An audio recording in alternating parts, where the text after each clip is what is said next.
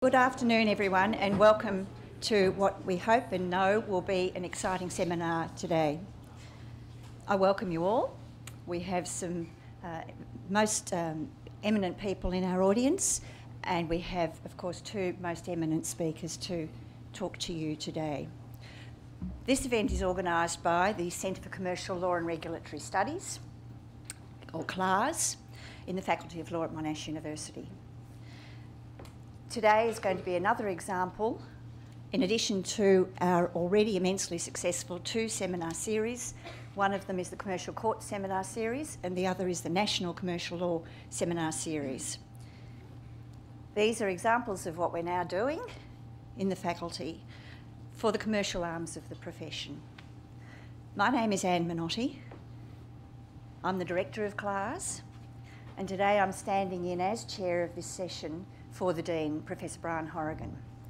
Unfortunately, um, Professor Bryan Horrigan was struck down with an illness last night and is just not well enough to be here today.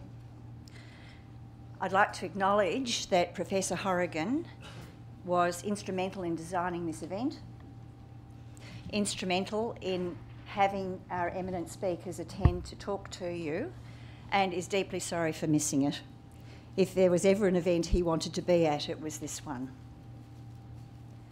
Now, our speakers today will outline the conclusions and recommendations contained in the final report on Australia's competition policy review. We're privileged to hear from the chair of the review panel, Professor Ian Harper, and from a panel member, Mr Michael O'Bryan QC. They'll also discuss the implications and necessary next steps from an economic and legal perspective. I'd like to introduce both speakers to you now. Professor Ian Harper, who is immediately on my left and who you, is probably well known to everyone here. He's a leading Australian economist who has worked closely with governments, lawyers, banks, corporates, leading professional services firms at the highest level. Professor Harper is a partner at Deloitte Access Economics and chaired the Competition Policy Review Panel. He is also an emeritus professor at the University of Melbourne. He served as inaugural chairman of the Australian Fair Pay Commission from December 2005 to July 2009 and was one of three panellists chosen to review Victoria's state finances in January 2011 and February 2012. Professor Harper is currently a member of the Australian Advisory Board of Bank of America Merrill Lynch he was elected a Fellow of the Academy of Social Sciences in Australia in 2000 and a Fellow of the Australian Institute of Company Directors in 2009. Mr Michael O'Bryan, QC, is Queen's Counsel at the Victorian Bar. He has practiced extensively in the areas of competition and consumer law, previously as a partner of the law firm Minter Ellison from 1992 to 2002, and currently as a barrister. He was a panel member of the Competition Policy Review and is a member and past chairman of the Competition and Consumer Committee of the Law Council of Australia. Mr O'Bryan also practices generally in commercial law, corporate and securities law, administrative and constitutional law. I'm going to invite Professor Harper to speak first on the policy dimensions of the report, and I'll then invite Mr O'Bryan to speak to the legal dimensions. Each will speak for 20 minutes and we will have time for questions at the end of the presentations. So, Professor Harper, I'll ask you to address us first. Great. Thank you.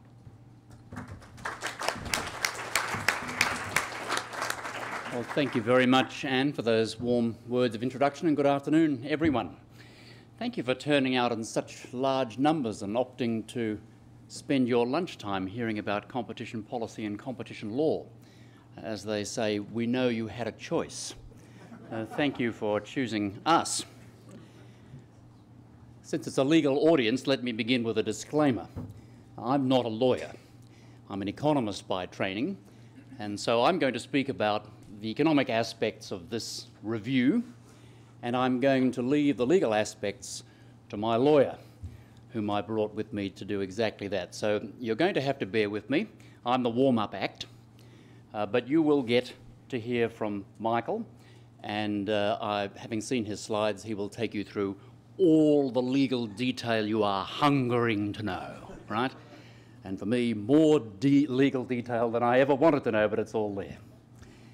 It's been a great privilege, if I may say so, in uh, Michael's presence, and I believe his brother Norman's also here, uh, to be able to say how much I've learned from Michael during this whole exercise. There were two lawyers on the panel.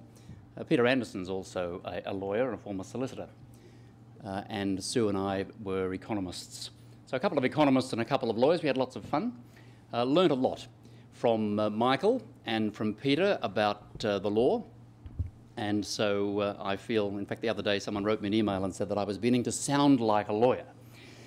I don't know whether that's a good thing or a bad thing, but in this audience, perhaps we should opt for the former. Well, ladies and gentlemen, uh, my task in the next few minutes is to give you an overview of the report uh, you would be aware that the panel has now been formally disbanded. Uh, so I am the former chair of the Competition Policy Review. Uh, the report has been handed to the government on time and on budget, and now it is a matter for the government. So, of course, at question time, you're welcome to ask us whatever you would like, uh, but I preface my remarks now and our question time by pointing out to you that these matters are still sub judice, if that's the right expression. Uh, the government has taken our recommendations, is consulting uh, on our recommendations for the next, well, to the end of May, uh, and then has indicated through the Minister that there will be a response from the government to the report. I know the Minister is scheduled to speak to CEDA on the 1st of July, and that is um, billed as being an opportunity for the government to respond. Uh, I'm not sure, obviously, in what detail the government would respond at that time, but at the very least, the process is moving along. Perhaps some of you are here because your clients have uh, enlisted you to assist in giving submissions to the government in response to the report. Uh, that's fine too. Maybe there are some things that we say today that will help you in your task, if that's what you've been asked to do. Well, it's a four-person panel, as you can see, myself as chair, Peter and Michael, obviously, and Su McCluskey, who is the chief executive of the Regional Australia Institute and a former member of the Productivity Commission. And she also set up the Office for Best Practice Regulation, so Sue is a regulation economist. Uh, and then um, for my sins, I was asked to chair this particular exercise. We were given a 12-month time frame with very broad terms of reference. People told us that these terms of reference were so broad at the outset they wondered whether we'd make any progress at all. Uh, well, in fact, of course, what we managed to do was to produce a 550-page report, uh, and in our view, that report covers all of the terms of reference uh, and no one has suggested otherwise at this point. I'm very much committed to consultation in public policy exercises. Uh, as an economist, my view, and I'm not alone in this, Gary Banks is somebody whose example I follow very closely in these matters, is that if you want policy proposals to stick, if you actually want to make some progress in changing economic policy, then it's very helpful to speak to people often on the way through. So that at the end of the day, people might not agree with you, and I know in this instance many people disagree with different aspects of what we've recommended to the government, but at least no one can say they weren't asked. No one can say they had no opportunity to speak to these people. We have no idea how they reached these conclusions. They certainly didn't ever talk to us. Well, if that accusation were made with some basis, I would consider that I had failed in my task. So um, at the risk of, of overdoing it, I'll be doing the welcome with my colleagues, possibly especially with Michael, who had a busy legal practice to, um, to manage during this entire process. Uh, I insisted that we have as many meetings as we possibly could. Uh, and there's 150 stakeholder meetings, that's really just the tip of the iceberg. We sought public submissions not once but twice, and we've received nearly a thousand submissions. All of those submissions are publicly available, except the ones that people insisted be confidential, and there's only a handful of those. Uh, I insisted in turn that if uh, people wanted their submissions to be confidential, which of course they had every right to do, I wanted to hear what they had to say. Uh, nevertheless, if they made it confidential, we couldn't quote them. And I wanted the opportunity to be able to do that. You can find all that on the website. No doubt you've already taken a look at that. Well, here's the big picture, if you like, uh, why we fight, why are we even bothering to do this? It won't have escaped your attention that the main driver of Australia's living standards over the last deca decade or so has been the massive mining investment boom that's followed the terms of trade surge, which in turn is derived from the growth of China. Now, all of that is beginning to wane. Not so much the growth of China, although the rates are coming down as, of course, that economy gets bigger and bigger, it naturally grows more slowly. But in particular, the mining investment boom, which is the largest investment boom we've experienced uh, in our history. We've had other mining booms before, but a mining investment boom of this scale is unprecedented. But as that comes off, and it comes off extremely quickly, terms of trade come down, down comes the mining investment boom, uh, then what that does is to produce a big downdraft on Australia's living standards. That will eventually slow, and we'll return to more normal rates of growth. But for the time being, we are, as they say, uh, fighting headwinds, if you want to use a different analogy. So it's important to seek alternative sources of growth in Australia's living standards that go beyond just the drive in mining investment. We don't expect that to be repeated anytime soon. In the end, you drive living standards by improving labour productivity. Output per hour worked is the ultimate source of growth in income per hour worked, that is to say, living standards. These are two sides of the same coin. Uh, how do you improve output per hour worked, that is to say, productivity? There are various levers which economists point to. Uh, but one of the most effective levers in driving productivity growth is competition. Why? Because competition stimulates innovation. And innovation, in turn, improves output per head. Uh, that has been true certainly since the Industrial Revolution, and even before that. If you go back into the Middle Ages, you can find evidence to sustain precisely that relationship. So this is nothing new.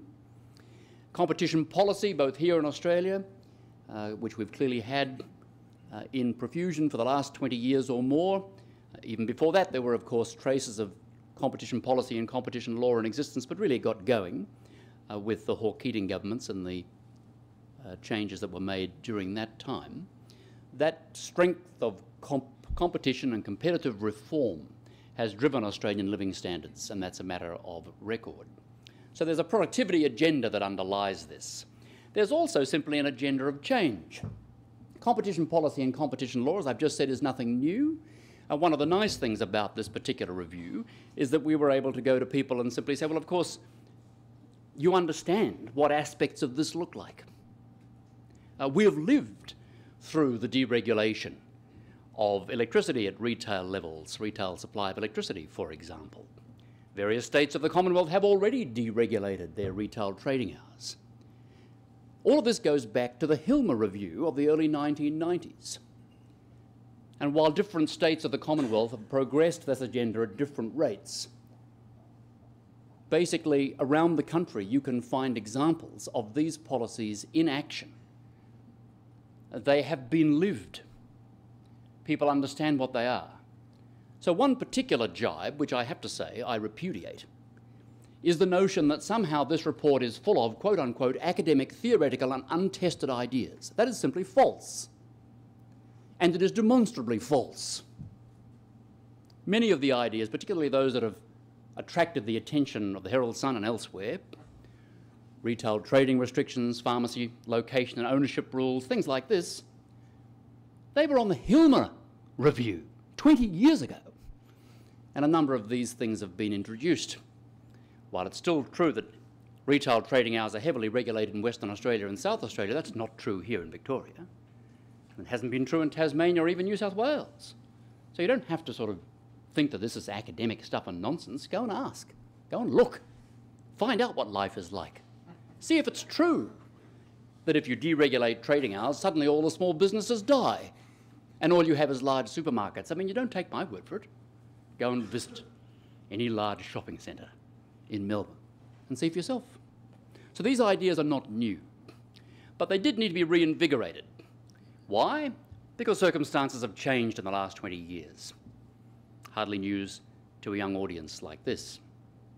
The forces of globalisation, the rapid onset of population ageing. These ideas were there in the early 1990s as well. But the impact of that had nowhere near gathered the strength that it now has. And of course, the digital revolution well, the World Wide Web, by some measures, was only switched on in 1996, and Hilmer reported in 1993. So there's nothing in Hilmer about the digital world at all. And yet that's totally revolutionised and is revolutionising and disrupting the way various parts of our world now operate. Here's a concrete example. In the Hilmer report, alongside a lot of discussion about location rules for pharmacy, was an equally vigorous discussion about location rules for newsagents. The word newsagent doesn't even appear in our report, let alone location rules for newsagents. Why not? Because technology just vaporized it. And technology is in the process of vaporizing other rules. Some of them need a bit of a helping hand. Others need at least to be pointed out to people. Many people have been, quite surprised about the existence of location and ownership rules for pharmacy which strike people as Byzantine. Really? Are you serious? Well, that was all in Hilmer. We were asked to do a root and branch review, and that, I believe, we've done. And what a root and branch review does is to get the torch out and to shine into every dusty corner. And in those dusty corners, we found things like pharmacy location and ownership rules, and some restrictions on growing and selling potatoes. The less of that, the better.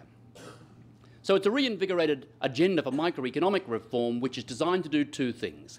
Firstly, to play its part in undergirding the growth of Australian living standards. This is about people's lives. And the second thing that it's about is updating our policies, laws, and institutions for a changed world, for a world in which the forces of globalisation, ageing, and especially digital revolution are shaping and testing the way the Australian economy operates. Professor Hilmer and his colleagues took competition in the, to the non-tradable parts of the Australian economy like electricity, roads and so forth, ports.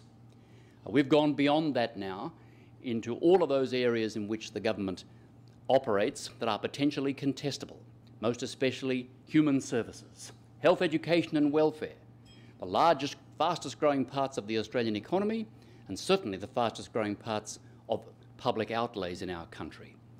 We've sought to move disciplines of competition where they are appropriate.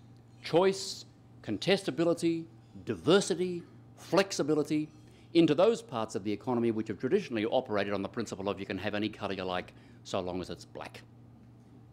Well, my generation might have put up with that. My parents' generation certainly did. But I imagine there are a lot of young people sitting right in front of me now who would be shocked, shocked at the idea that you could just have no choice at all. You just simply take what the state hands out and be grateful for it. That's not the world you're going into. That's not the world we want our institutions and laws and policies to help to facilitate. That's what this report is about. Lifting the veil on that future. We're to drive competition across the economy. There's a national challenge, therefore, for all levels of government and there are benefits, we argue, for all jurisdictions. I mentioned these three forces for change. You'll find these throughout the report, informing the way that we have sought to analyse each of these issues. The logical structure of the report we think is quite clear. Uh, in the end, we're asking questions about our existing competition laws, policies and institutions, about how fit for purpose they are for the future. How fit for purpose are they for the productivity challenge we have?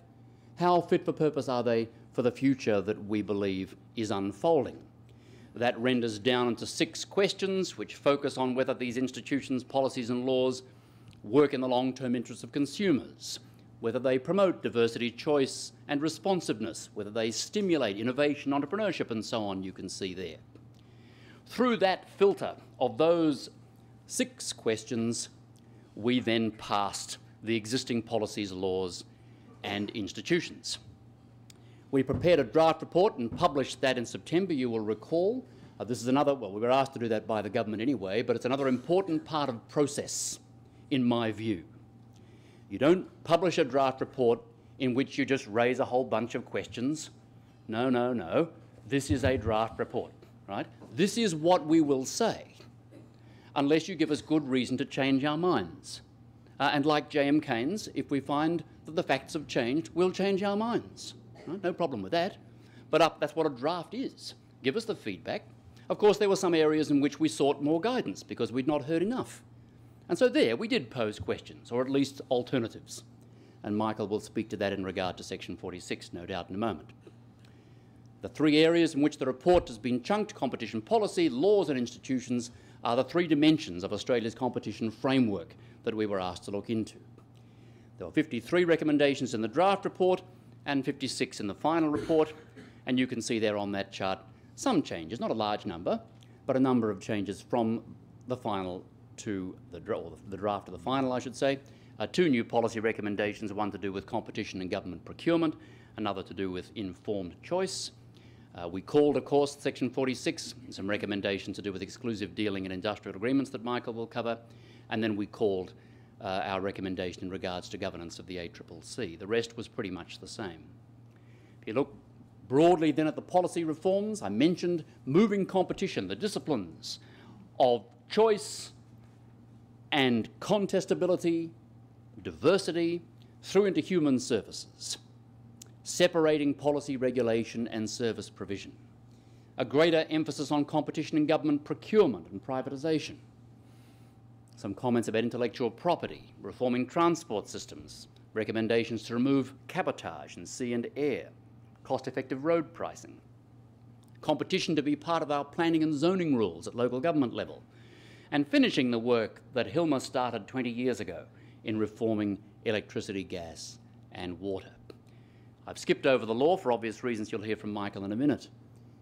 Thinking briefly then about the competition institutions, indeed, we recommended that two new regulators be created, but that they be built on existing regulators. So the Australian Council for Competition Policy is a coordinating body, just like the National Competition Council was for Hilmer. The National Competition Council uh, will be retired if these recommendations to be accepted and replaced by this body. It is a body designed to drive the agenda, but most importantly, it's not a Commonwealth body. It is a national body. That is to say, it's responsible or accountable to all of the jurisdictions, not just the Commonwealth, which changes the dynamic. In the early years of the Keating government, it was much easier to have a dynamic driven by the Commonwealth. Uh, times have changed. Now the states and territories have to be bought in, and this is our proposal to do just that.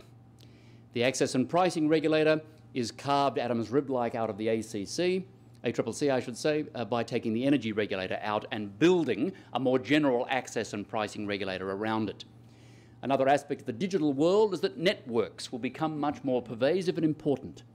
The world of network economics.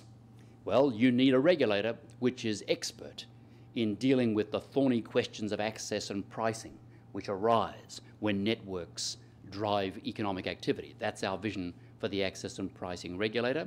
And finally, some recommendations about governance of the ACCC, which in our view uh, has suffered from a very weak separation between its governance and its day-to-day -day executive management.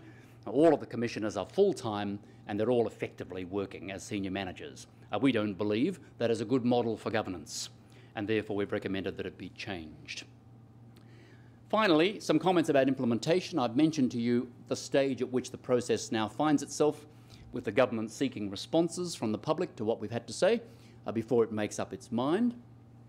Let me just point out that in this final report, unlike the draft report, there's an entire chapter which deals with implementation. Again, we're very keen to make it absolutely clear. This is not theoretical, academic stuff and nonsense. There are steps planned out here. There is a plan. And the plan indicates what you should do first, which levels of government are responsible, and roughly how much time it would take. There's plenty of room for cooperation and collaboration in all of this, and in many cases the reforms are building on momentum which already exists.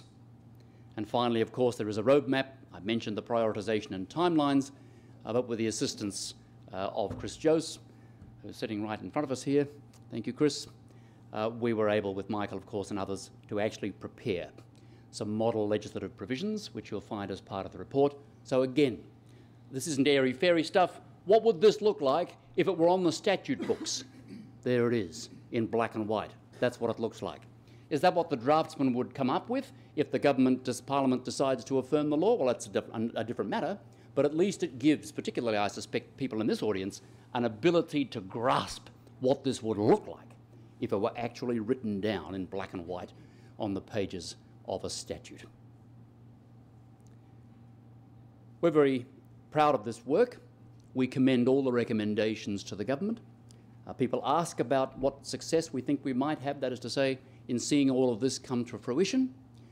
Let me just conclude on with two brief remarks.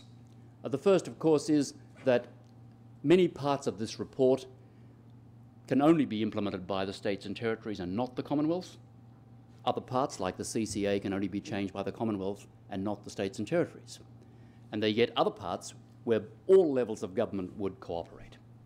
So even if it were true, I'm not prejudging this for a second, but even if it were true that the Commonwealth government can't act on this for political reasons, there's nothing to stop the states and territories from getting on with different parts of it, and a number of them already have. The Northern Territory and the ACT have already announced inquiries into, into their taxi regulation uh, with a view to opening up those regulations to deal with ride sharing. The New South Wales government has already made a start on moving contestability into human services health in particular. This is already starting. And furthermore, uh, at the federal level, even the opposition, the Australian Labor Party, through the spokesperson Mr Bowen, the Shadow Treasurer, has already indicated that the Labor Party supports many of the recommendations in this report. Uh, they have a number of reservations which they can speak to themselves, but they support the bulk of this because much of this, of course, emerged from Labor Party policy over a lengthy period of time. So the dynamic, as this is argued out in the federal parliament, this is just a conjecture on my part, may be very different. It may be that the Labor Party, the opposition, actually spurs the government and says, well, Minister, where are the bills? We're ready to vote. You don't need to deal with the minor parties in the Senate. You don't need to deal with other particular voices, uh, we're on side with much of this and we're waiting for the bills. All of that will be revealed as the year unfolds, but I suggest to you that the political dynamic which surrounds this work uh, may be very different from that which has surrounded previous attempts to make major change at the policy level in our country. Thank you, Ann.